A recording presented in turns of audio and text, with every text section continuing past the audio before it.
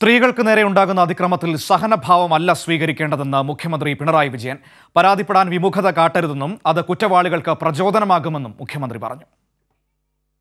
സ്ത്രീകൾക്കും കുട്ടികൾക്കുമെതിരെ നടക്കുന്ന കുറ്റകൃത്യങ്ങളെ അതീവ ഗൗരവത്തിലാണ് സർക്കാർ പരിഗണിക്കുന്നത്. അതിലുൾപ്പെടുന്ന കുറ്റവാളികൾ എത്ര ഉന്നതരായാലും അവരെ നിയമത്തിന് മുന്നിൽ എത്തിക്കുന്ന കാര്യത്തിൽ സർക്കാർ പ്രതിജ്ഞാബദ്ധമാണ്.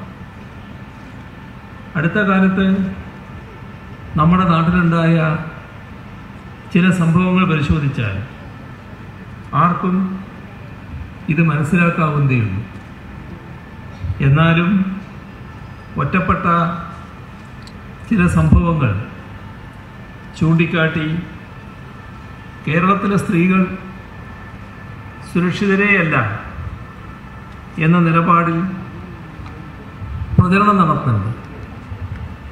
അതൊരു നല്ല പ്രവണതയല്ല എന്ന് മാത്രമേ പറയാനുള്ളൂ.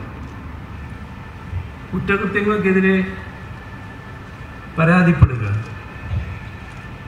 പരിഹാരം തേടാനുള്ള അവസരം നമ്മുടെ സഹോദരിമാർ ഫലപ്രദമായി ഉപയോഗിക്കുക. അങ്ങനെ ചെയ്യുമ്പോഴാണ് ലിംഗസമത്വവും ലിംഗനീതിയും ഉറപ്പാക്കാൻ സാധിക്കുക.